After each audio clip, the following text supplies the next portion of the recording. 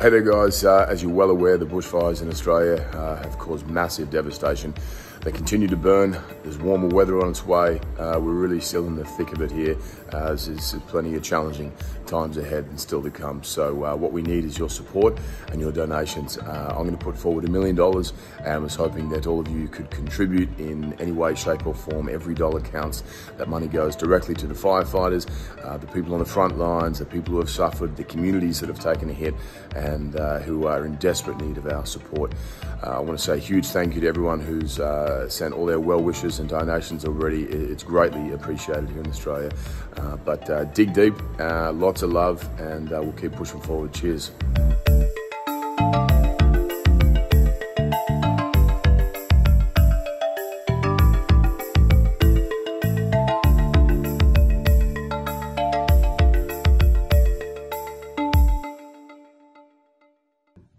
I'm sure you're all aware of what's happening in Australia at the moment with the fires, and I, I didn't want to show you more pictures of the devastation. I wanted you to see how beautiful our country is because it is so beautiful and it's really, really hurting right now.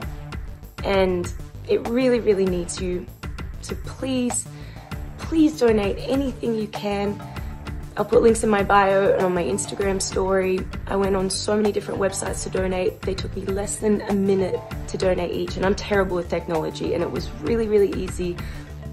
For whatever you would have spent on your next cup of coffee, even a dollar would help. It's so needed right now. Please, please, if you haven't already donated, um, please do. And let's give future generations the kind of childhood I was so lucky to have.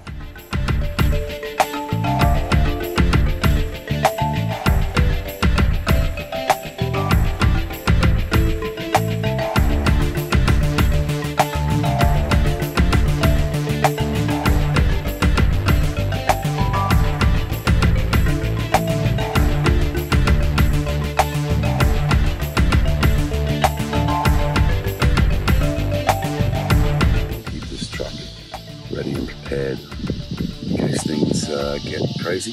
It's got a thousand litre water cube on it. It's got a water tank. It's an old Ford F-150. We've got a couple of bins there with uh, dirt in it, shovels for spot fires. Inside here we've got spare hoses, fire blankets, gloves, respirators, and all the stuff you need for fighting fires.